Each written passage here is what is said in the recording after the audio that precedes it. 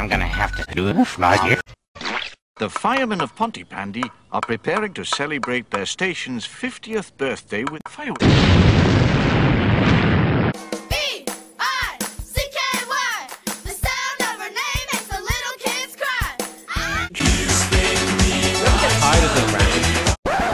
She screamed so loud and so long the town broke.